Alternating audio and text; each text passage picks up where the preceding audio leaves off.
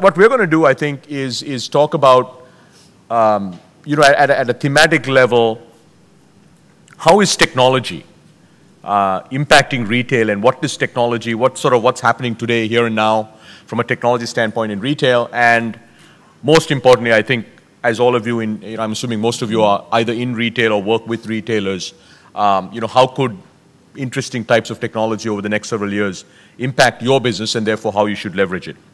We, I'm going to kick off with some perspectives on e-commerce. So it's, it's one dimension of technology. Um, e-commerce, m-commerce, it's, re it's really both.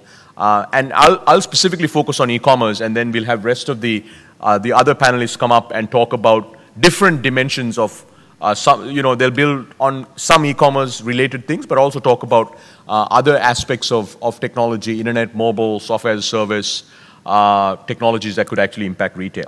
So I will focus on, on e-commerce. So let me ask a question before I get started. Um, if you go back to 1995, how many internet users were there in the world? Any guesses?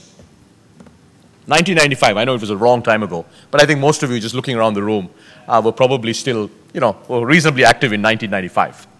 How many internet users in 1995? 100,000? Well, you know, little, you know, a few, few more than that. 1995. Amazon went public in 1997. Amazon now is the largest e-commerce company in the world. That was 15 years ago, actually. Okay, let me ask another question. How many, how many internet users do we have today in the world? Not in India, but in the world. Any guesses? This is definitely not an e-commerce crowd today. Multiple choice. Yeah, that's right. Should give you multiple choices. Okay, so today there are actually 2 billion internet users in the world. And by the year 2015, there will be 3.5 billion people on the internet. So basically, three years from now, we will have 45% of every human being who, who, who lives in this universe, I should say in, in our world, not in the universe, will be on the internet. That's a really big number, right? And if you go back to 1995, there were less than 50 million people on the internet in the world. In the year 2000, in the year 2005 is when we crossed a billion people on the internet. And today we have 2 billion people on the internet. So clearly, we have a very large number of people connected on the internet. And I just spent a week in the US last week. You know, it is remarkable. Everybody is on the internet, and they are on the internet all the time. Now, India obviously is very different, and I'll talk about where we are in India today. What's also interesting is if you look at this 3.5 billion people on the internet, 40% of them will come from Asia. In fact, almost all the net new growth in the world in terms of internet users will come from the emerging markets. Now, the rest of what I'll talk about is actually what's going on in India, uh, tied to both internet and mobile. There are 120 million internet users in India today. In fact, this data is about six months old. Now the number is actually a little higher. So 10% of India is online today. In the year 2000, there were 3 million Indians online. So we've gone from 3 million Indians in the year 2000 to 120 million Indians online today. And at 120 million, India is already the third largest internet user market in the world. China has about 500 million internet users. The US has about 250 million internet users. India at 120 million is already the third largest. And by 2015, actually that number, that should say by 2015, not 2011, we will cross 300 million internet users. So by 2015, and it'll probably happen earlier because everything in the internet happens generally quicker than what we think it will, India will be the second largest internet user market in the world, right? So we're talking about, although in a country of 1.2 billion, you can look at these numbers and say, you know, Rajan, it's only 120 million. It's actually a very big number for, you know, because of some reasons, uh, because of some things we'll talk about in a minute. So now if you look at this 120 million, what's interesting is what took about 15 years in the US to happen, right? 1995 to about 2010, is happening simultaneously in India right now. So, what do I mean by that? Well, e commerce was actually a phenomenon that started in 1995. Amazon went public in 1997, and we would say by about 2000 in the US, e commerce was reasonably well established. You know, it's not where it is today, which is, you know, it's huge in the US today. But e commerce is pretty well established. In India, e commerce is happening now. It wasn't happening in 2005. In the US, around 2005 is when the mobile data revolution started. Right? Well, the mobile data revolution is alive and well, and you know, both Kumar and, and, and Abe will actually, you know, have, you know, are, are driving that revolution here. Social is actually a phenomenon that's about four or five years old. But already in India, we have 50 million active social users. And for a company like Facebook, India is already the second largest market in the world in terms of number of users, right? So social is happening. Video, video is a phenomenon that's maximum five years old. Already in India, video is pretty well established. YouTube, which is one of the online video streaming platforms, has 33 million unique users a month. 1.5 billion videos are streamed in India every single week. That's a lot of videos, by the way. Right? That's just in India. And that's despite us not having the kind of bandwidth that all of us would like to have. And if you look at mobile internet and mobile data, the number of search queries that are coming from a mobile device, a feature phone, a smartphone, are growing 200% year on year, right? So not only do we have a large number of internet users in India, we are seeing all the things that have happened in the internet, global internet, over the last 15, 17 years happen simultaneously in India. So one way I'd like to think about this, with, especially with people who sort of work in the web, is Web 1.0 and Web 2.0. Web 1.0 is like traditional content, straight up Yahoo type content, e-commerce plus Web 2.0, local, mobile, social, happening together.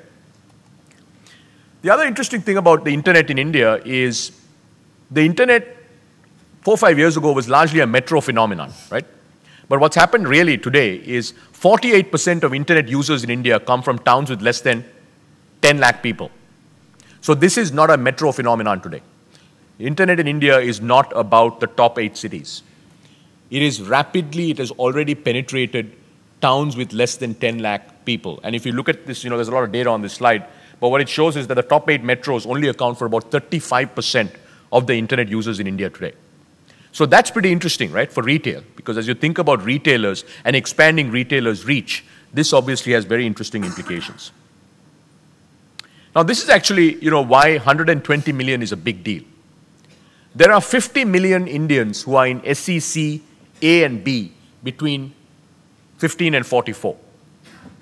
And if you're selling anything other than pretty much fast moving consumer goods and phone plans, you know, voice plans. Your addressable market in India is between 50 and 100 million people.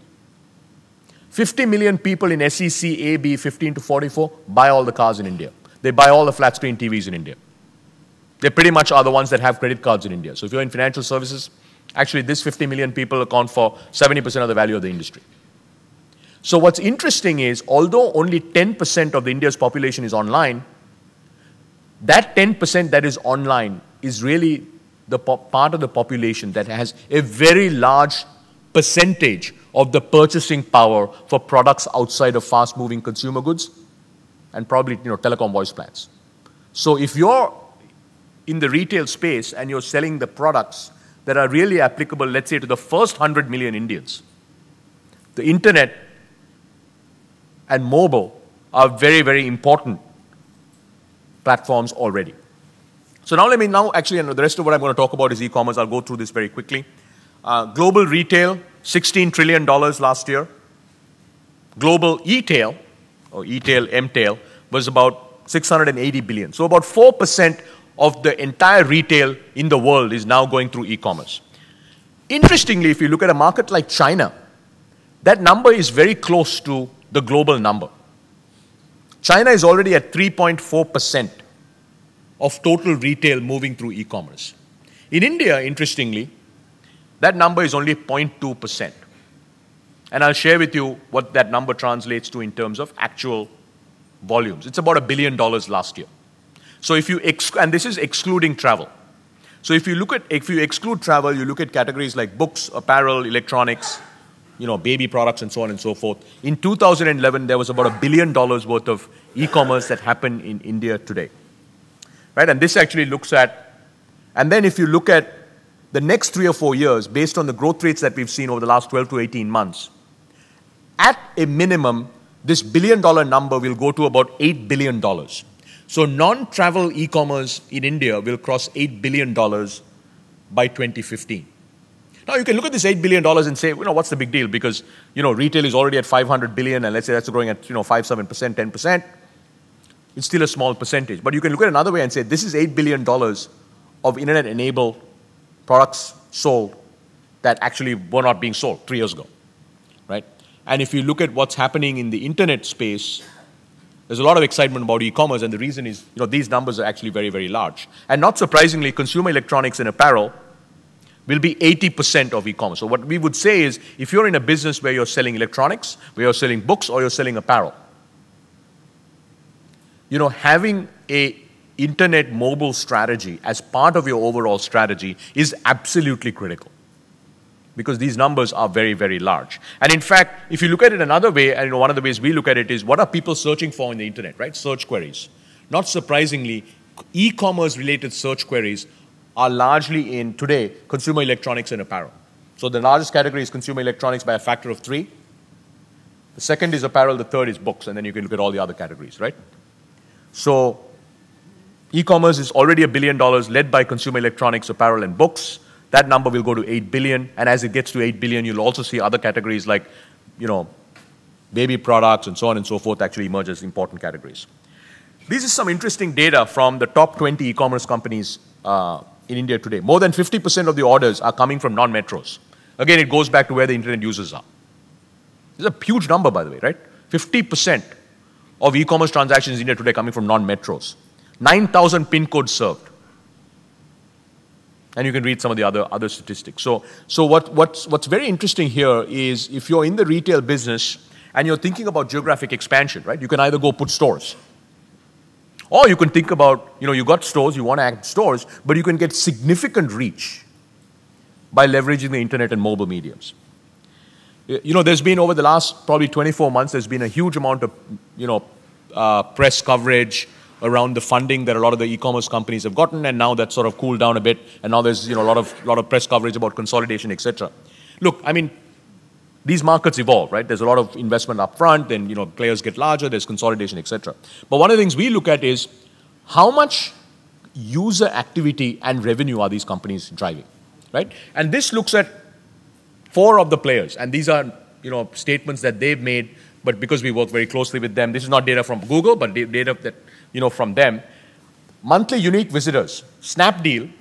So let's take Flipkart. Flipkart has 7 million unique Indians who are going to the Flipkart site every month. That is more than any retailer in India, I think. There is no retailer in India that has 7 million unique users? Flipkart this year will do north of 600 crores. In fact, they've crossed that run rate already. This is a company that is 24, actually now more like 36 months old. 36 months ago, Flipkart didn't exist as a company. Right? This year they will do 700 crores of revenue. Products being sold online. Snapdeal is two and a half years old. Myntra is 18 months old, selling apparel online. 5 million unique visitors a month. This year we'll do 500 crores of revenue selling Nike shoes, dresses, accessories, cosmetics, etc.